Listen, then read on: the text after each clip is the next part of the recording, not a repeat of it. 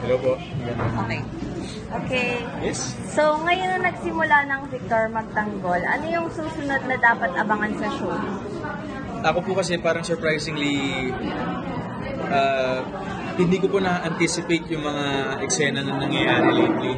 Kasi usually kami uh, on, on the acting side, mga actor, parang when we when we do a pro- project, parang somehow nakakaroon kami ng foresight kung ano yung mangyayari. Pero this time, yung mga nababasa naming scripts ahead of time, medyo nagugulat ako eh sa mga turn of events. So, uh, maraming mangyayaring life challenges kay Victor Magtanggol. Especially uh, sa ngayon, yung, yung struggle between being a superhero and being for the family, andun yung conflict ng buhay niya ngayon eh.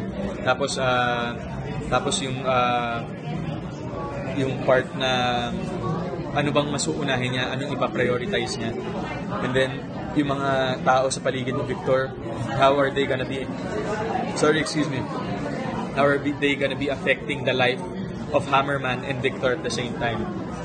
So, apektado ka ba sa mga negative sa Victor magtanggol? Hindi ba dapat they should give the show a chance?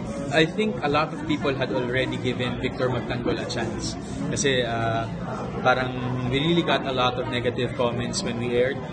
Pero as we go along, nag, uh, sobrang dami nang nag-flip ng points. Sobrang dami nang nagsiswitch sides na parang they, na they were wrong.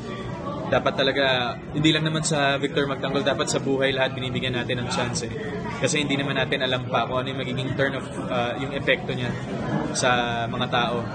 So, overall, yung total feeling feeling po namin dito sa Victor Magtanggol is that we, we feel that we're on the right track and we will continue.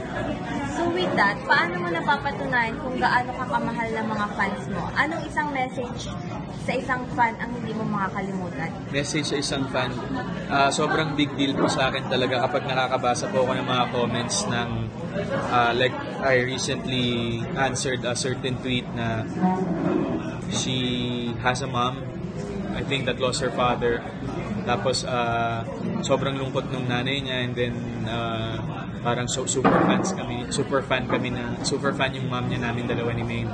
And then parang since umeri daw yung Victor Magtanggol nakita niya na ulit yung nanay niya humingiti looking forward to something every night. I guess yun talaga yung ano yung reward ng being a public figure especially an actor na in your own small ways pwede kang makapagpabago ng buhay. So yun yung pinaka-importante sa akin. That's why I keep on going. So lagi kang pinagpa, pinagtatanggol ng mga fans mo. Bakit ganun ka kahalaga sa kanila sa tingin mo? And gaano sila kahalaga sa iyo? Ako po, ah, hindi ko po alam sa kanila kung gaano ako kahalaga sa buhay nila. Pero ako po siguradong sigurado ako na ah, sila yung rason kung bakit ako nandito. At ah, kagaya po ng sinasabi ng iba natin mga senior senior actors and actresses na kung walang fans, walang mga artista. So, ah, naniniwala po ako talaga na ang ang mga ang mga supporters andyan yan ipagtatanggol ka nila out of their free will if they see something good in you.